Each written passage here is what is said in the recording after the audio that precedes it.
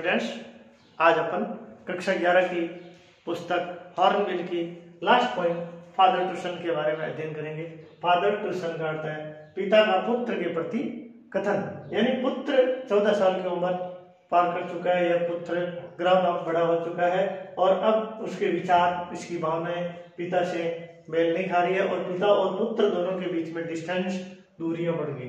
तब इस पॉइंट ने कवित्री ने कवित्री एलिजाबेथ जेनिंग्स और इसका पूरा नाम है एलिजाबेथ जॉन जेनिंग्स इसने एक पिता की फीलिंग या पिता की भावनाओं को पिता का पुत्र के प्रति जो विभेद है, उनको एक कविता के रूप में श्रुतिबद्ध किया गया है, जिसका अपन सबसे पहले वर्ड और मीनिंग के बारे में जानकारी कर लेते हैं। वर्ड और मीनिंग पहला मीनिंग है दो दो का अर्थ होता है यद्यपि अगला मीनिंग है टुगेदर टुगेदर का अर्थ है एक साथ. बेल बेल मिस बनाना और इसकी सेकंड या पास्ट फॉर्म पास्ट फॉर्म होती है belt B U I L T belt और पास्ट पार्टिसिपल फॉर्म भी बेल्ट होती है. अगला मीनिंग है रिलेशनशिप रिलेशनशिप का अर्थ होता है रिश्ता. किल किल मिस मारा गया प्रेजेंट फॉर्म प्रेजेंट फॉर्म होती है किल और किल का अर्थ होता है मारना, और इसकी पास्ट फॉर्म पास्ट फॉर्म है किल और पास्ट पार्टिसिपल फॉर्म भी होती है किल तो किल मिस मारना किल मिस मारा गया, और past participle form kill miss मारा जा चुका. उसी प्रकार स्पेंड स्पेंड का अर्थ होता है बिताया तो स्पेंड की प्रेजेंट फॉर्म है spend S P E N D spend का होता है बिताना। तो इसकी पास्ट फॉर्म है स्पेंट और पास्ट पार्टिसिपल फॉर्म है स्पेंट अगला मीनिंग है सॉन्ग सॉन्ग का अर्थ होता है बीजारोपण किया। Sow S O W sow का अर्थ होता है बीजारोपण करना और सोन इसकी पास्ट पार्टिसिपल फॉर्म है बीजारोपण किया। स्पीक ये भी एक वर्ब है। स्पीक का अर्थ होता है बोलना और इसकी पास्ट फॉर्म होती है स्पोक और पास्ट पार्टिसिपल फॉर्म होती है स्पोकन।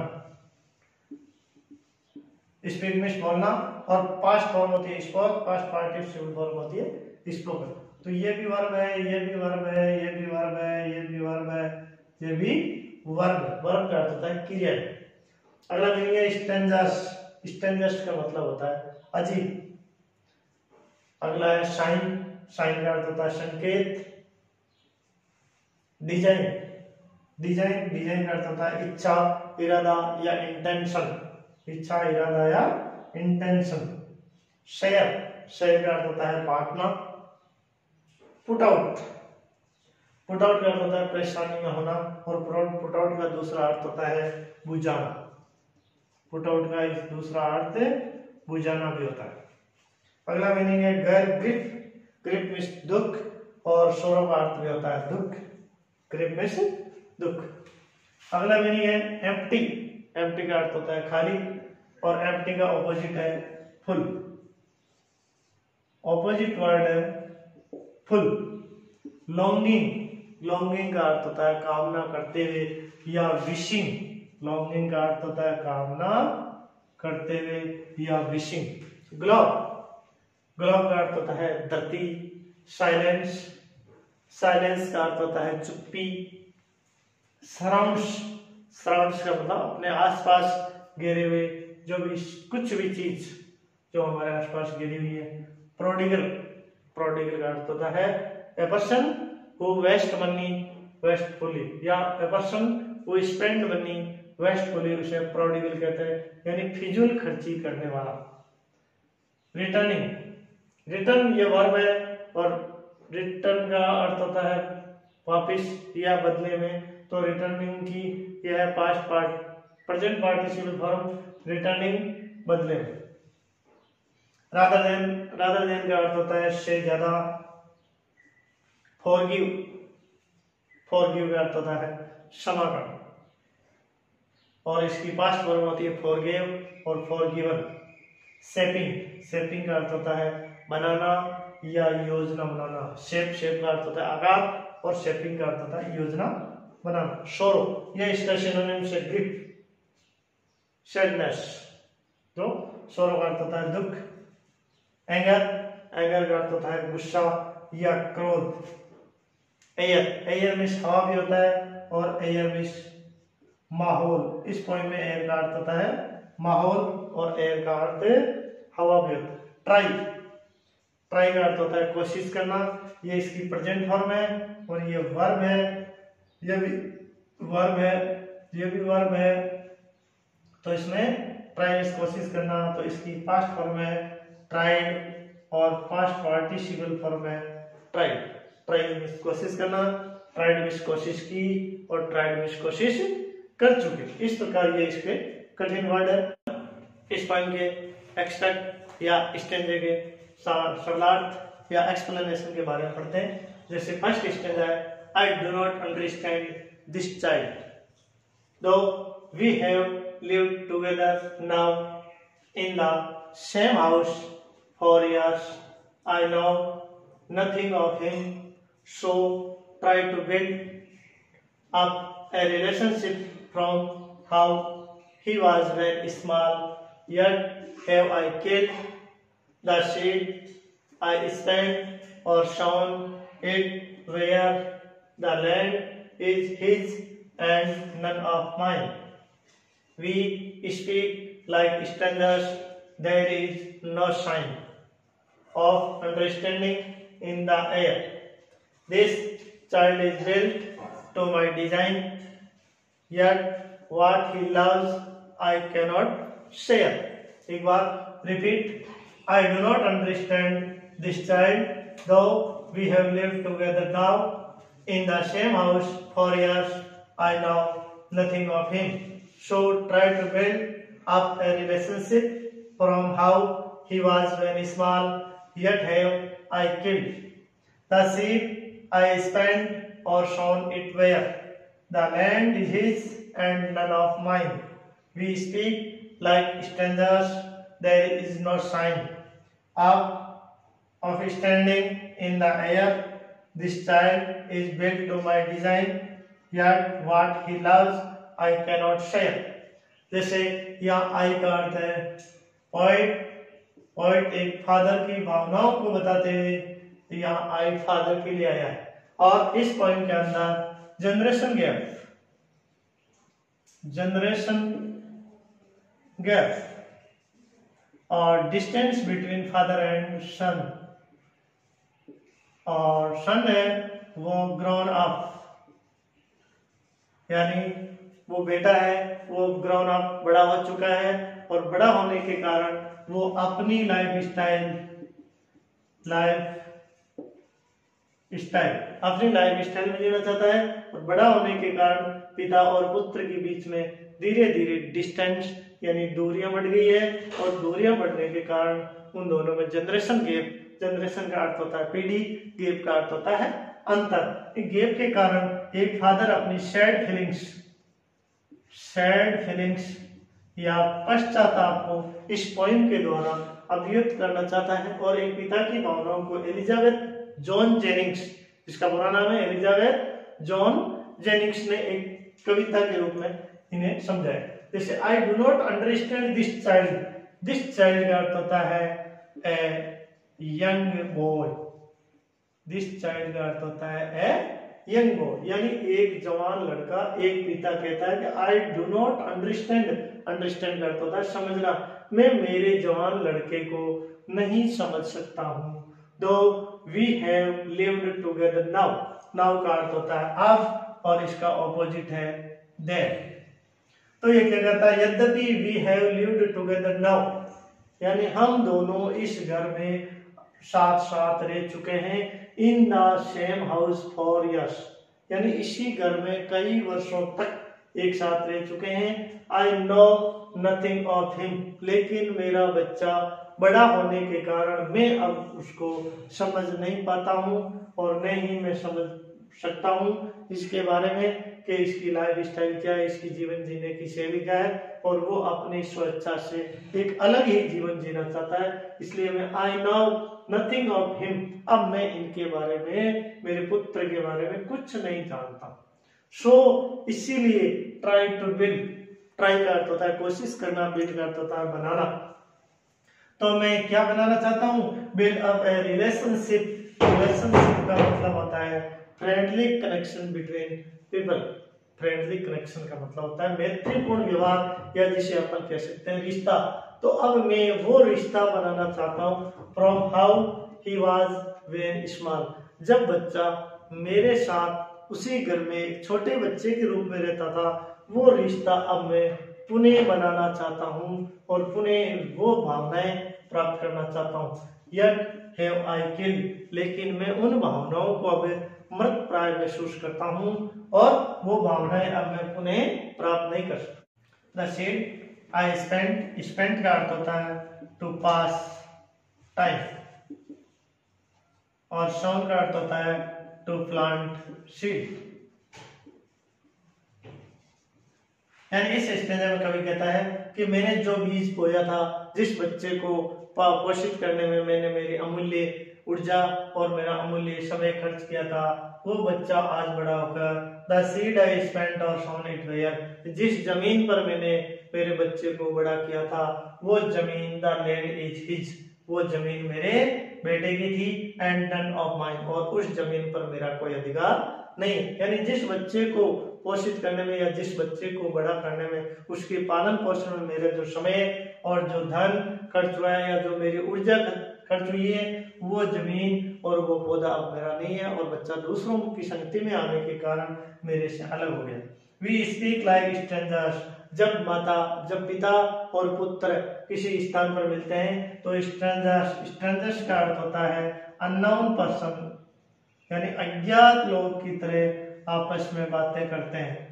यानी वी स्पीक लाइक स्ट्रेंजर्स जब दोनों किसी स्थान पर एकत्रित होते हैं तो एक अलग या विचित्र लोग की तरह बातें करते हैं।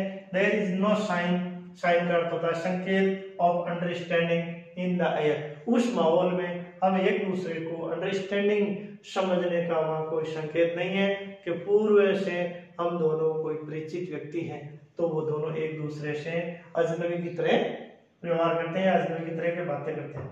This child is big to my design लेकिन इस बच्चे को मैं शुरू से ही, उसके बचपन से ही, मेरे अनुसार बनाना चाहता था। मेरी डिज़ाइन, मेरी प्रतिलिपि बनाना चाहता था। हूबहू मेरे जैसा बनाना चाहता था, ये मेरी शुरू से इच्छा थी और उसी तमन्ना से मैंने मेरे बच्चे का पोषण किया था, पूरा ध्यान लगाया था। लेकिन यट वाट ही लव्स लेकिन मुझे इस चीज़ की जानकारी नहीं थी कि उसे कौन सी चीज़ पसंद है, कौन सी चीज़ पसंद नहीं है और इन चीज़ों को आई कैनॉट शेयर शेयर का अर्थ होता है लाइक यानी उन चीज़ों को मैं पसंद नहीं करता था।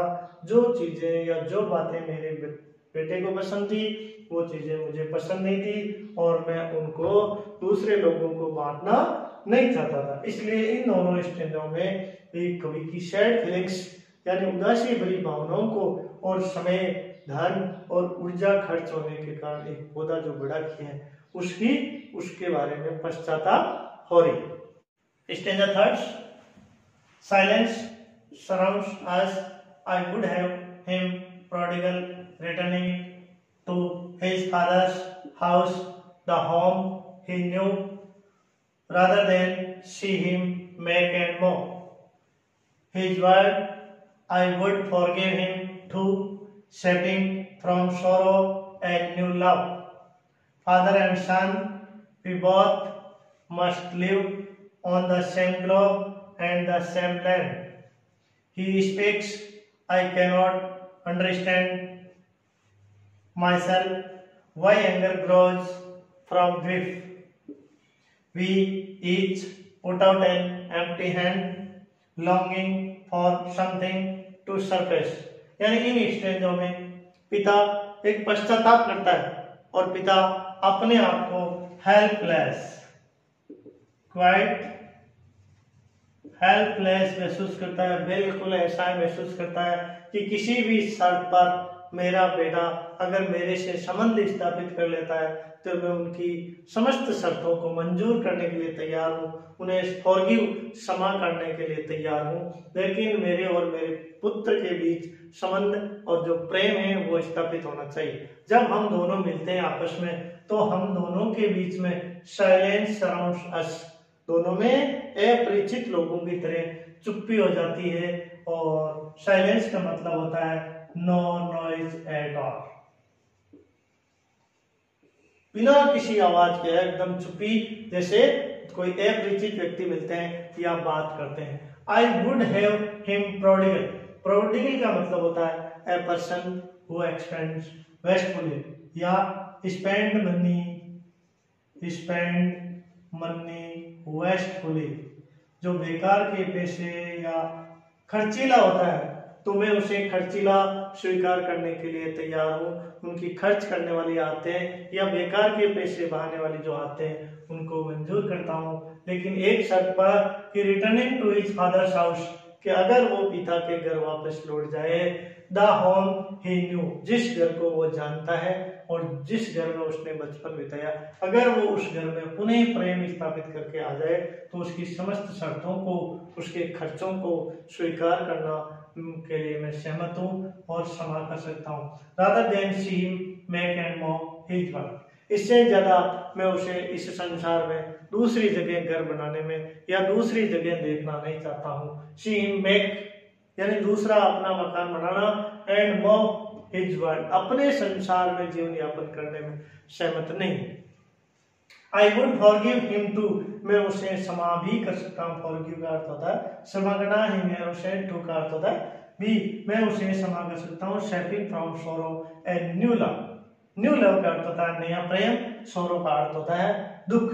यानी इस दुख से उभरने के लिए और इन दोनों के आपसी जो दुख भरी बातें हैं उनसे अगर एक नया प्रेम की अगर वो बनाना चाहता है तो उसकी समस्त शर्तों को या समस्त पुरानी बातों को क्षमा करने के लिए तैयार हूँ। यानी इस स्टेंजे में कवि या पोइट फादर कहता है कि मैं मेरे पुत्र की नया संबंध स्थापित करने के लिए संपूर्ण शर्तों को मंजूर करता हूँ, संपूर्ण गलतियों को माफ़ करने के लिए तैयार अब वो आगे कहता है, अगले स्टेज में फादर एंड सन भी बहुत must live on the same globe and the same land एक पिता अपने पुत्र को संबोधित करते हुए कहता है कि हमें सेम ग्लोब यानी इसी धरती पर और इसी धरातल पर, इसी एक ही छत के नीचे हमें एक साथ रहना है और रहना चाहिए। ही स्पीक्स पिता आगे बोलता है I cannot understand myself मैं अपने आप को नहीं समझ सका why anger grows from grief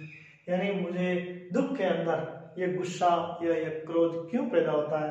यानी मैं गुस्से के अंदर क्रोध करता हूँ और ये क्रोध क्यों पैदा होता है? किस कारण से पैदा होता है? इस बात को मैं स्वयं माई सेल्फ का स्वयं नहीं समझ सका हूँ। We each put out an empty head क्योंकि हम आपस में दोनों, यानी मैं अलग मेरी गलतियों को महसूस करता हूँ और पुत्र अपनी गलतियों को दोनों आपस में एक दूसरे से शिकायत करते हैं, लेकिन कोई इन दोनों के बीच में विशेष बात नहीं है। इसलिए हम दोनों ही एम्प्टी हैंड यानी दोनों ही without anything in the hand empty hand का होता है खाली हाथ और पुट आउट का मतलब होता है परेशानियों यानी हम दोनों ही परेशानियों में हैं और दोनों ही अपने आप से शिकायत करते हैं, लेकिन आपस में पिता और पुत्र प्रेम स्थापित करने के लिए एक दूसरे से शिकायत करते हैं। Longing for something to forgive longing का अर्थ होता है विशी विश का अर्थ होता है कामना करना। इसलिए पिता, प्रत्येक चीज़ को यानी किसी भी चीज़ को पाने के लिए उसकी कामना करता है और प्रत्येक चीज़ को फॉरगिव फॉरगिव का अर्थ होता है क्षमा करता है। इसीलिए एक पिता अपने पुत्र के साथ जीवन यापन करने के लिए या प्रेम संबंध स्थापित करने के लिए लालच रहता है और उनकी संपूर्ण गलतियों को क्षमा करता है। एक शर्त पर कि हम दोनों के बीच में प्रेम संबंध स्थापित हो जाए, लेकिन दोनों एक दूसरे को समझ नहीं सके और समझ नहीं सकने के कारण आपस में दोनों एक दूसरे से दूर रहते हैं। बेटा अपनी लाइफ स्टाइल में मस्त है और पिता अपनी लाइफ स्टाइल में दुख भरी बातों को याद करके फीलिंग और दुख की सत्य हैं, वो दुख महसूस करता है। और पुत्र पुत्र से संबंध स्थापित करने के लिए लालायित रहता है और अपनी पूरी प्लान लगाता है। लेकिन पिता, पुत्र के बीच में संबंध स्थापित नहीं।